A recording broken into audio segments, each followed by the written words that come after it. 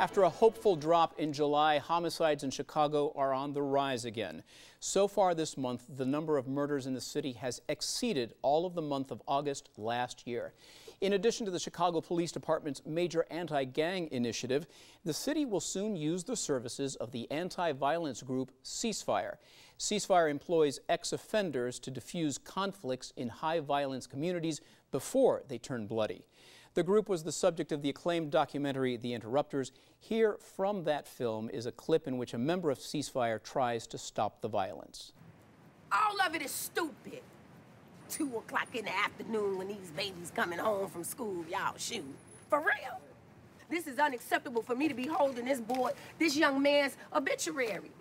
Schools, churches, your mama's house, your cars, those are safe zones. With us tonight is the director of Ceasefire, Tio Hardiman. Tio, welcome back to Chicago tonight. I'm glad to be here. There has been a delay in getting Ceasefire on board with uh, working with the city. It uh, was about a month uh, delayed. First of all, tell us how the program is going to work.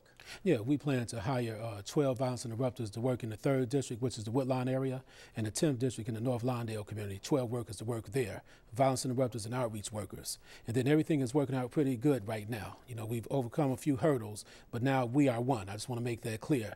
The City of Chicago, Chicago Department of Public Health, and CPD, we are one. One of those major hurdles was yeah. that your organization did not want these interrupters to be so-called informants for the Chicago Police Department. What did you mean by that? No, mainly I, I watched an interview with Superintendent McCarthy last week, and uh, I appreciate the superintendent making it clear that ceasefire staff would not serve as informants. The reason why is because our staff work on the streets with a lot of high-risk individuals, and we would lose our credibility, and we would lose the power to effectively mediate conflicts on the front end if people think that we're going to inform. All right uh, it's still not clear, though, how this is going to operate. It, it's going to be overseen by the Chicago Department of Health, not the yes. Chicago Police Department, exactly. right? So how will you coordinate things, or how will you work in tandem either with the Chicago Department of Health, the city, the police department, in order to help reduce the crime in these high violence areas. Yeah, the ceasefire program managers will uh, attend weekly meetings with the police, the uh, commanders in those two districts, and, and, keep in mind we already we're working in 18 communities throughout Chicago already with state funding.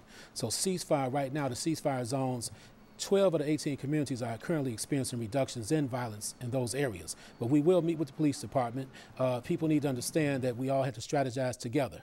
Homicides are up by 27% right now. In order to get the homicides back down, we, we all have to show some unity here. All right, so you'll be meeting with uh, uh, police officials. Right. What will take place in these meetings that will help coordinate efforts on both sides to help reduce the violence? Well, this is what happens. Ceasefire, we go in, we find out what's going on and try to stop it on the front end before anybody gets shot. And uh, some of them hot areas where the police have to have more officers out there to saturate areas to avoid uh, you know, further acts of violence from taking place. So we'll strategize. We'll, we'll identify the areas that we need to pay, pay close attention to, and we'll put all of our resources there. Now explain to folks how it works. You have these individuals, they're ex-offenders, they mostly come from these communities, uh, so they know the communities well. How do you get to these situations fast enough? How do you learn about them? And how do you get to them fast enough to prevent the bullets from flying? Now, first and foremost, the, our staff are not just ex-offenders. They're professionally trained staff, violence interrupters and outreach workers, and we work in the field of uh, behavioral change, a public health model. But we get phone calls from grandmothers, teachers, counselors, parents all the time. And we also get calls from the police department. Look, it's going on over here. You, you guys need to get over there and stop this right now. So we, we uh, show up on the scene, we find out what happened, and we work with both sides. Some conflicts may take a week to resolve. Some of them you can resolve in a couple of hours. And we uh, just recently stopped a, a, a, situation where some guys were trying to kill four uh, young men who were the grandsons of a particular lady, and uh, we stopped that on the front end, and the grandmother is willing to give a testimonial about that. Now, you're getting a $1 million grant from the city, right. and we should note that that's not coming out of the city budget. Is that right? No. That, where, where is that grant money coming from? Well, the grant, the grant is going to be administered through the Chicago Department of Public Health, and uh, I think they worked it out with the mayor and the city, I mean the mayor and the Chicago Department of Public Health. And you said 12 uh, individuals that you're going to hire. Yes. Originally, the city wanted 40. Is that right? Well, no, originally what happened, we were all trying to rush to get things done, so we had to scale back on the numbers because these are salaried employees. They work at the UIC School of Public Health.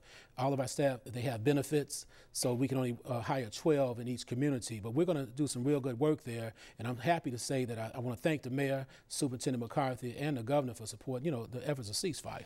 Weren't you going to hire even more than that? Not quite 40, but around in the mid 20s, 25, 26. Well, now we're going to hire 24, like I say, 12 in each community, and the plan was to hire more, but you know that's how the money, pretty much how the budget was uh, uh, written out. And you feel that these 24 individuals, or the addition of 24 on your staff, Yes. will make an impact on this escalating uh, murder, the homicide rate in Chicago? Yeah, without a doubt, because our staff, we don't work traditional hours. Our staff are out on the streets from 2 to 10 and from 4 to midnight. And then we have interrupters out there all, all the way to 2 o'clock in the morning in some cases. So we're going to detect most of the conflicts in those areas and get on the front end. And we're going to organize peace summits, focus groups. Uh, we're going to spend a lot of quality time with these individuals. As a matter of fact, in 2011, we spent 48,000 hours with over 1,000 high risk individuals here in Chicago. Are there any metrics, any measurements that the city is asking from you or requiring from you to show that you are effective and that this grant money is being well spent on your organization? Yeah, without a doubt. Ceasefire, uh, we like I say, we're housed out of the UIC School of Public Health, and we uh, monitor and track all of our work, and then we'll meet with the police department with a CompStat system and make sure that we're showing results in, uh, in the communities in which we work in. And uh, you referenced the, the interview with uh, Superintendent McCarthy, who was on this program one week ago tonight. And originally, he had said he had had apprehensions about uh, your organization, saying that uh, it's, it's only going to lead to people not talking to the police. Do you, how do you counter that? Do you Well- think that people in these high violence areas will still uh, interact or will interact more with the police? Well, ceasefires never inform residents not to talk to the police. That's up to the residents. What we do is we go in and we stop it on the front end. And like I say, we are one. I'm just happy to announce that we're all going to work together. And hopefully by the end of 2012, we'll see a big reduction in shootings and homicides here in the city of Chicago. And I'm sure we'll have you back to get right. an update on how things are progressing. Tio Hardiman, thank you for being here today. And you can visit our website to share your views on the city's partnership with Ceasefire. Just go to our homepage and click on the story, where you can also view a timeline of Ceasefire's evolution as an organization.